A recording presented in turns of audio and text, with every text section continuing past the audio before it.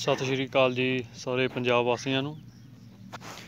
Channel Punjab weather ਯਾਨੀ ਕਿ ਪੰਜਾਬ ਦਾ ਮੌਸਮ ਵਿੱਚ ਤੁਹਾਡਾ ਸਭ ਦਾ ਬਹੁਤ ਜ਼ਿਆਦਾ ਸਵਾਗਤ ਹੈ।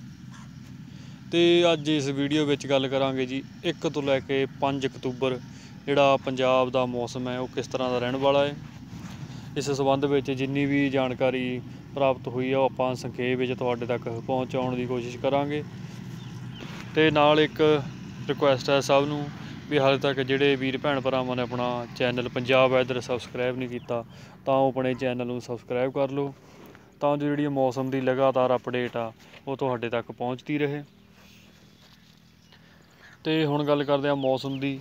ਮੌਸਮ ਦੇ ਵਿੱਚ ਜੇ ਪਹਿਲਾਂ ਗੱਲ ਕਰੀਏ ਆਪਾਂ 1 ਅਕਤੂਬਰ, ਤਾਂ 1 ਅਕਤੂਬਰ ਨੂੰ ਜਿਹੜਾ ਮੌਸਮ ਹੈ ਤਕਰੀਬਨ ਪੰਜਾਬ ਵਿੱਚ ਰਲਮਾ ਮਿਲਮਾ ਬਣਿਆ ਰਹਿਣ ਦੀ ਉਮੀਦ ਹੈ।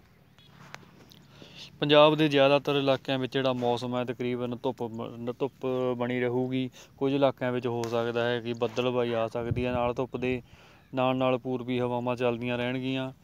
ਤੇ ਇਹ ਹੋ ਸਕਦਾ ਹੈ ਕਿ ਇੱਕ ਤਰੀਕ ਸ਼ਾਮ ਦੇ ਵੇਲੇ ਪੰਜਾਬ ਦੇ ਜਿਹੜੇ ਕਹਿ ਸਕਦੇ ਹਾਂ ਆਪਾਂ ਮਾਝਾ ਦੁਆਬਾ ਏਰੀਆ, ਇਹਨਾਂ ਜਿਹੜੇ ਇਲਾਕੇ ਨੇ, ਇਹਨਾਂ ਇਲਾਕਿਆਂ ਵਿੱਚ ਕੁਝ ਬੱਦਲੀ ਕਾਰਵਾਈ ਹੋ ਗਈ। ਇੱਕ ਦੋ ਸਥਾਨਾਂ ਤੇ ਹਲਕੀ ਕਣੀਆਂ ਪੈ ਸਕਦੀਆਂ ਹਨ, ਪਰ ਜ਼ਿਆਦਾ ਮੀਂਹ ਪੈਣ ਦੇ ਅਸਾਰ ਬਿਲਕੁਲ ਨਹੀਂ ਹਨ। 2 ਅਤੇ 3 ਤਰੀਕ ਨੂੰ ਮੌਸਮ ਪੂਰੀ ਤਰ੍ਹਾਂ ਸਾਫ਼ ਰਹਿਣ ਦੇ ਅਸਾਰ ਹਨ। ਕਿਸੇ ਵੀ ਤਰ੍ਹਾਂ ਦੇ ਭਾਰੀ ਤਕੜੇ ਮੀਂਹ ਦੀ ਸੰਭਾਵਨਾ ਬਿਲਕੁਲ ਨਹੀਂ ਹੈ ਤੇ ਬੱਦਲਬਾਈ ਨਾਲ ਨਾਲ ਬਣੀ ਰਹਿ ਸਕਦੀ ਹੈ। ਆਈ ਚਲਾਈ ਵਾਲੇ ਬੱਦਲ ਜਿਹੜੇ ਉਹ ਚੱਲਦੇ ਰਹਿਣਗੇ।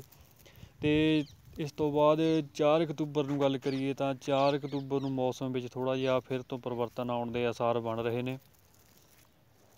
ਇਹ ਮਤਲਬ ਕਿ 4 ਤਰੀਕ ਨੂੰ ਪੰਜਾਬ ਦੇ ਇਲਾਕਿਆਂ ਉੱਤੇ ਇੱਕ ਵਾਰ ਫਿਰ ਤੋਂ ਹਲਕੀ ਤੋਂ ਜਿਹੜੀ ਦਰਮਿਆਨੀ ਆ ਬੱਦਲਬਾਈ ਦੇਖਣ ਨੂੰ ਮਿਲ ਸਕਦੀ ਹੈ।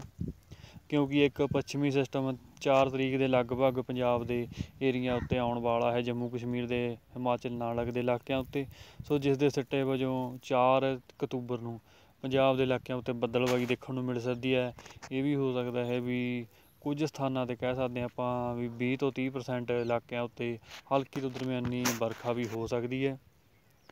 ਤੇ ਇਸ ਤੋਂ ਬਾਅਦ 5 ਤਰੀਕ ਤੋਂ ਮੌਸਮ ਆ ਉਹ ਫਿਰ ਤੋਂ ਬੱਦਲਬਾਈ ਨਾਲ ਧੁੱਪ ਵਾਲਾ ਬਣਿਆ ਰਹੇਗਾ। ਕੁੱਲ ਮਿਲਾ ਕੇ ਜੇ ਗੱਲ ਕਹੀਏ ਤਾਂ 1 ਤੋਂ 3 ਤੱਕ ਮੌਸਮ ਜ਼ਿਆਦਾਤਰ ਸਾਫ਼ ਰਹਿਣ ਦੀ ਉਮੀਦ ਹਨ। ਨਾਲ ਹਲਕੀ ਬੱਦਲਬਾਈ ਕੀ ਇਲਾਕਿਆਂ ਵਿੱਚ ਦੇਖੀ ਜਾ ਸਕਦੀ ਹੈ। ਇੱਕ ਦੋ ਸਥਾਨਾਂ ਤੇ ਜਿਹੜੀ ਹਲਕੀ ਵਰਖਾ ਹੋਣ ਤੋਂ ਵੀ ਇਨਕਾਰ ਨਹੀਂ ਹੈ।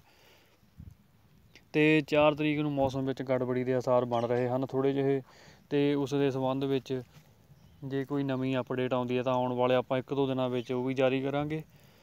ਸੋ ਇਹ ਸੀ ਮੌਸਮ ਦੀ ਜਾਣਕਾਰੀ 1 ਤੋਂ ਲੈ ਕੇ 5 ਅਕਤੂਬਰ ਤੱਕ। ਬਾਕੀ ਅਗਲੀ ਤਾਜ਼ਾ ਜਾਣਕਾਰੀ ਪ੍ਰਾਪਤ ਕਰਦੇ ਰਹਿਣ ਲਈ ਆਪਣੇ ਚੈਨਲ ਪੰਜਾਬ ਵੈਦਰ ਨੂੰ ਜ਼ਰੂਰ ਸਬਸਕ੍ਰਾਈਬ ਕਰ ਲਿਓ। ਧੰਨਵਾਦ ਜੀ।